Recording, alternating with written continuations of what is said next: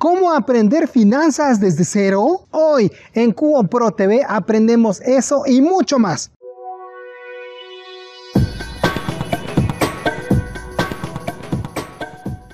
Aprender acerca de finanzas suele pensarse como algo muy difícil, complicado, enredado, como exclusivo para quienes estudian ese tipo de cosas, las finanzas, la economía. Pero no todos podemos volvernos economistas y financieros, pero sí todos debemos aprender ciertas cosas para poder usarlas en nuestra vida diaria. Mi nombre es Pepe Sarabia, creador de este canal donde te ayudamos a tomar buenas decisiones financieras y el día de hoy te voy a decir cómo puedes aprender acerca de finanzas sin que tengas que estudiar una carrera, sin que tengas que meterte en cosas extrañas y complicadas, pero que sí puedas tener información que te ayude a tener un mejor resultado en tu vida. Sin más preámbulo, vamos a ver cómo podemos aprender finanzas personales desde cero. En primer lugar, libros.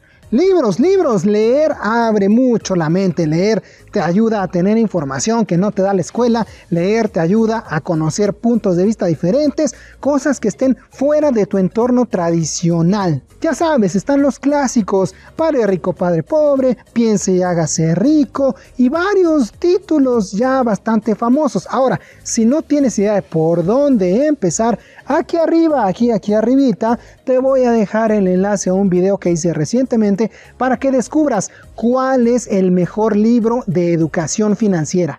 De preferencia, los libros que escojas deberían ser de una lectura fácil, sencilla, comprensible. No te metas en rollos técnicos, sobre todo si eres alguien que no gusta mucho de estos temas o de las matemáticas o los números. No, no, no, solo te vas a confundir más. Mejor utiliza textos sencillos. Mi segunda recomendación es usa juegos para aprender.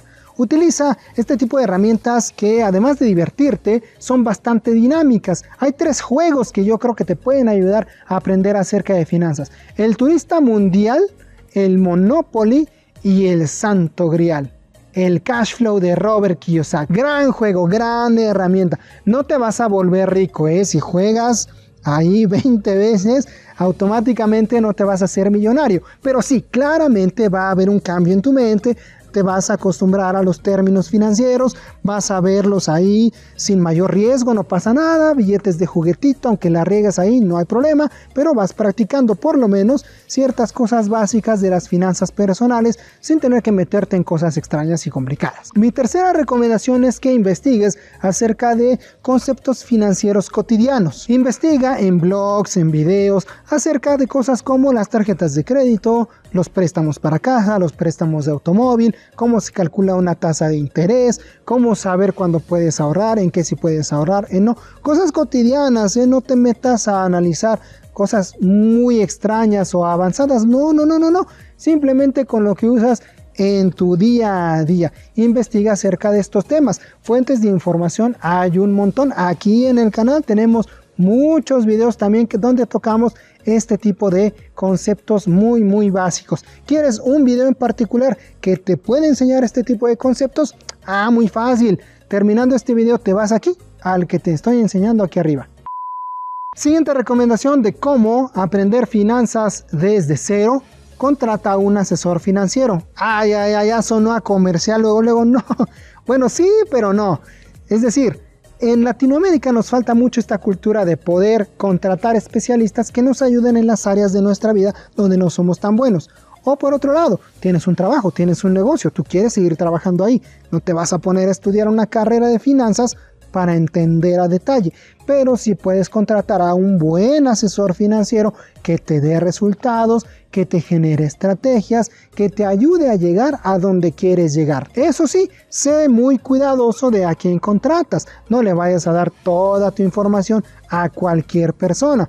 Evalúa los resultados de ese asesor checa sus referencias, consulta su trabajo y después podrías establecer una buena relación con este tipo de asesores. Al final, no podemos ser todos expertos en todo. Es bueno tener ayuda, reconocer que no sabes algo y contratar la ayuda que te solucione esos problemas. Y mi quinta recomendación es platica de estos temas con tus familiares, con tus amigos. Que el tema del dinero, de ahorrar, del seguro de vida, de gastos médicos, de planear el futuro, de adquirir una casa, de invertir, de ahorrar, no sean temas fuera de.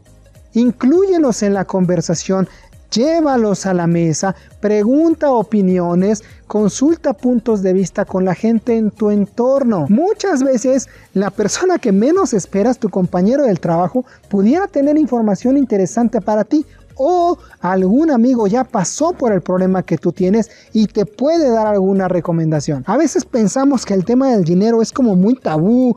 No, no, que los demás no sepan. Al contrario, platícalo, conversalo, que se note tu interés y vas a estar atrayendo información que puede ser de mucha utilidad para ti. Lo que quiero decirte con todo esto es que al final las finanzas realmente no es un tema muy difícil. Está en tu mente creer que es difícil, pero si investigas un poquito, lo vas aplicando y sobre todo ejecutas estas cinco recomendaciones que te acabo de dar en este video, te aseguro que los resultados van a ser maravillosos. Ahora, una vez que aprendiste todo esto, va la siguiente fase de ponerlo en práctica en ciertas estrategias y, e instrumentos financieros precisos, específicos positivos que realmente ya te ayuden a poner todo esto en práctica para aprender estas estrategias específicas. Muy sencillo lo único que tienes que hacer es suscribirte al canal. Suscríbete activa notificaciones